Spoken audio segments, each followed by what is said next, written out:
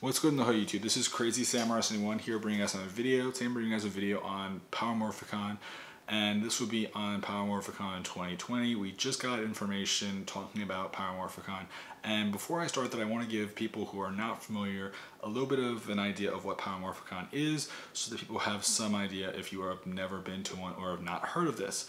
Um, this will be relatively brief. I could probably go into Power a lot more because this is I've gone to Power in the past uh, number of times and um, I'm planning on going to this one. This will actually be my fourth one and I'm just going to give you guys a little brief rundown on it. So Power Morphicon is a biannual event. It's been going on for the um, since 2007, though in 2007 it was the one year that happened during an odd year. Uh, typically Power Morphicon occurs during an even year and is biannual, though with the change of people who were running it, uh, it became a biannual thing, which is is always a good which is a good thing. Um, so as far as what is Power Morphicon, Power is the largest Power Rangers convention that happens once every two years. Um, it typically happens during the summertime, and what what occurs in it is that it is the first place where people can see the next series cast. It is the first place to see the trailer for the, the cast, to see brand new products that you you likely have never seen before and maybe the first time that they're revealed to the public ever. Um, you will also get to see products that will be coming out in the following year. So like for example, the next one's in 2020, so you'll be seeing products for 2021.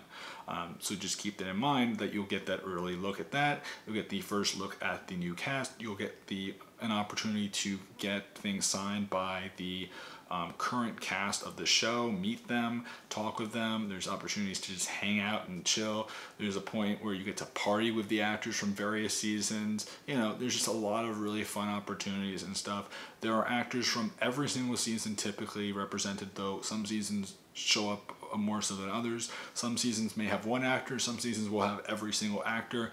Many times over, they tend to do more actors when it is an anniversary. So for example, in 2016, they had the Time Force cast have all the actors that were still alive and around uh, show up. For those who do not know, the actor that played Mr. Collins is not alive anymore, but all the actors that are alive did show up. So that was a very big deal at the time, and it was the first time that Kate Sheldon, I believe, had shown up to a convention and she played Nadira. And I don't, I think um, the actor that played uh, Frax as well was his first time as well. But he's shown up now before, so it's very cool. Um, otherwise, it's a lot of fun. You do see actors from Super Sentai. There's a lot of representation for Super Sentai and for Kamen Rider there. People dress up, people do cosplay. It's a ton of fun. There's special events such as going to locations from the show, whether it be the command center or whether it be locations where uh, scenes were filmed from the show, you name it. There's a lot of really cool opportunities that are often um, housed at this convention that you cannot do on a normal if you are just a, regular person because they're usually off limits areas or areas that you wouldn't think about or wouldn't know where they are. So it's a lot of fun uh, and a lot of really cool things do happen at this and there are plenty of convention exclusive things that happen there, whether it be exclusive items such as figures, merchandise, and other things, um, or whether it be just experiences in general that you cannot find anywhere else. Um, otherwise, that's about it that I could say up front. There's a lot more I can go into detail if anyone is curious, but let me get started with the information for the 2020 Power Morphicon. So, what can I say? Power Morphicon 2020 is going to happen September 4th through the 6th. Um, this is unusual for Power Morphicon because in the past it's always been mid-August. Um, and usually what that means is that that happens that week and the following week typically you'll see the first episode of the fall half of Power Rangers for whatever the current uh, season is. So, for example, last year when Power Morphicon uh, 2018 happened, the following week, i believe, um, if I'm not mistaken, was the first episode of the fall season of Power Rangers Super Ninja Steel. Um, so most likely next so it's a, a little different because since it's so much later the show may either happen uh, may have a have it where they they wait till um, the second week of September, or they may take a week off depending on how they choose to run things. The reason why I would say that is because many times over they tend to do a, pre- a major preview of what you can expect from the the fall half of the current season. Um, and so the fact that they're doing it so late could imply that they may either decide to have a week off where there's no episode releasing because then people will be missing an episode of the show while they're at the convention or what will happen is is that they will um, wait till after the convention to release the first episode. Either options are are a good possibility um, but i'm just saying that in general that i could see both being a possibility in general um, so just giving you guys that heads up um, now as far as other information goes when can you buy tickets tickets are going to go on sale this august which has always been the case it's usually when when first information is dropped typically August is when we'll get tickets. Now, as far as when tickets will be available, the date has not been confirmed. Um, during Power Morphicon 2018, tickets went on sale at the very beginning of August, but as of now, we do not have a clear idea as to whether or not it will be the very beginning of August or if it will be a couple days into the month. Um, as of now, we don't know that information.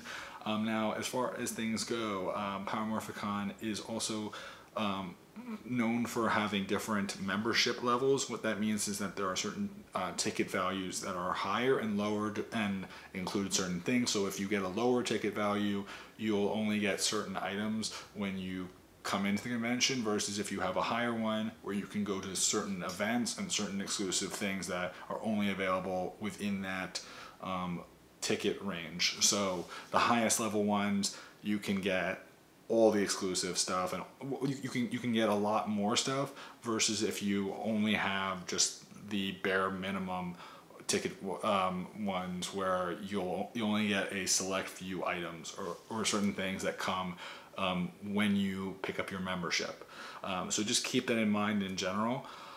Um, now, as far as things go, otherwise, we should also be learning more information over the course of the next six weeks. What that means is that we'll be learning information regarding what is the main hotel for the convention, what are the means of transportation, such as shuttle and other kinds of transportation that will be available, and any other special deals that um, may be necessary to learn, as well as information regarding um, different tickets and what they will include and likely will also include the exclusive item as well so that people will have some idea of what the exclusives will be for the convention. Typically, we may only get one of them to start and then later on they'll reveal what the second or third um, convention exclusive items are. But uh, just keep it in mind, it's as of now as to what those will be, we don't know. Last Power Morphicon, the exclusives were the three following items, which were the Legacy Lord Drakkon figure, the um, um, black and gold Megazord pop that was convention exclusive, and also the um, Shattered Grid number 25 that was the Lord Drakkon Evolu- um, version 3, I believe it was. Um, cover art, which was a convention exclusive print of the 25th comic at the time. Um, those were the exclusives back then. As to what the exclusives will be by the time that we reach that convention, who knows? It could be comic number 50, or it could be much later or much earlier. We really don't know for sure. I'm guessing probably something around 50 might be realistic in reality, uh, if not a little later than that, but uh, we'll have to wait and see.